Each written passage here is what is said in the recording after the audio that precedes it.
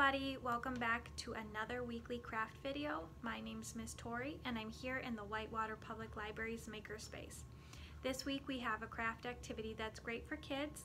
We are going to be making these little clothespin cars with little button wheels that actually spin.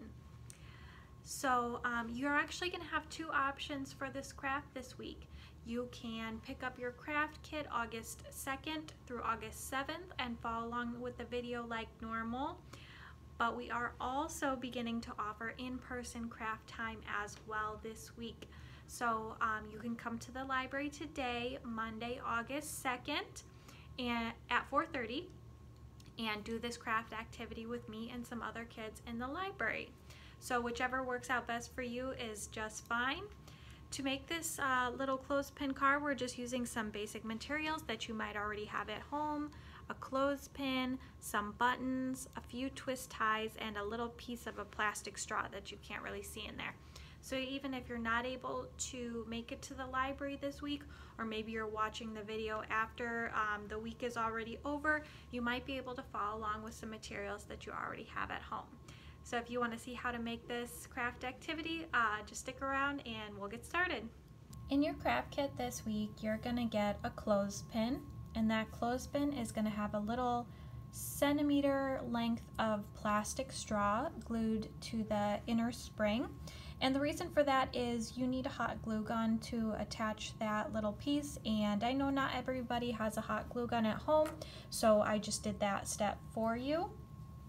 You're gonna get two twist ties and you're gonna get four buttons. Your buttons might all be the same size or you might have two larger buttons and two smaller buttons. The first thing that you're going to want to do is decorate your car. So you can use crayons, markers, you could even paint it if you wanted to. Um, just whatever you have at home will work fine. When you decorate, make sure you color both sides because they are reversible. So this is going to be the front of our car and this is going to be the back of our car. If you do have two smaller buttons, you want, might want to make the smaller buttons the front wheels and the larger buttons the back wheels.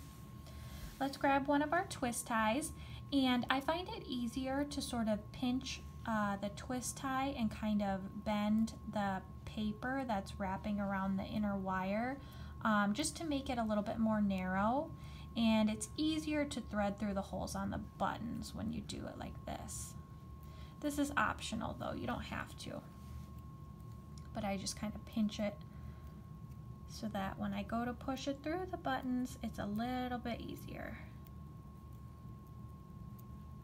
All right, so what you wanna do is grab one of your twist ties, bend it in half, and then put it through two of the holes on the buttons. I'll show you how we're gonna do that.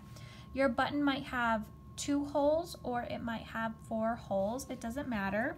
If your button has four holes, you want to put them in the holes across from each other, not the ones right next to each other. I'll show you how that looks.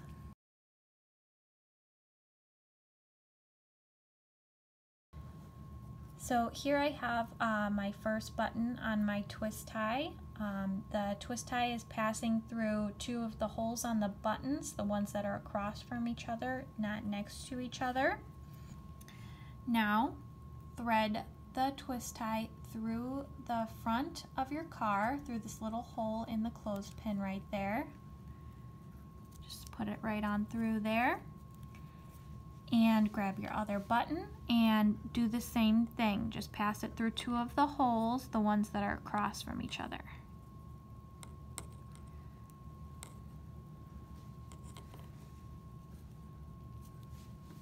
Now, once you're here, you want to bend down the ends of your twist ties so that it sort of holds your button in place.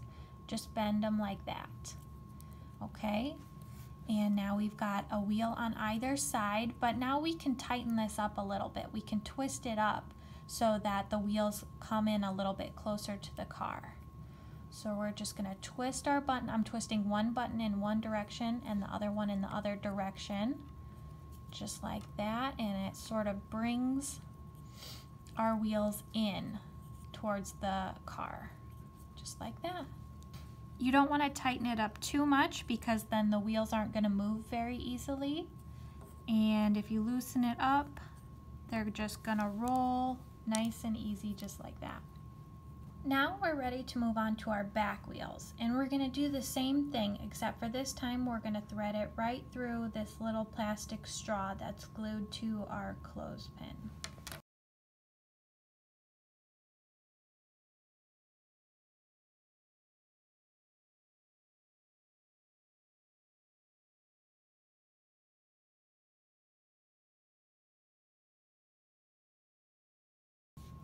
Now we have both sets of wheels attached to our car. So the twist ties act sort of like an axle. An axle is the part of a car that's attached to the wheel and allows it to spin freely. If you're having trouble getting your wheels to spin, you might hold one button still while you twist the other one to either tighten or loosen your wheels, and this might allow them to spin a little bit more easily. If you make one of these cars with your friends or your siblings, you can practice racing them or sending them down a slanted slope. Thanks for watching. Bye.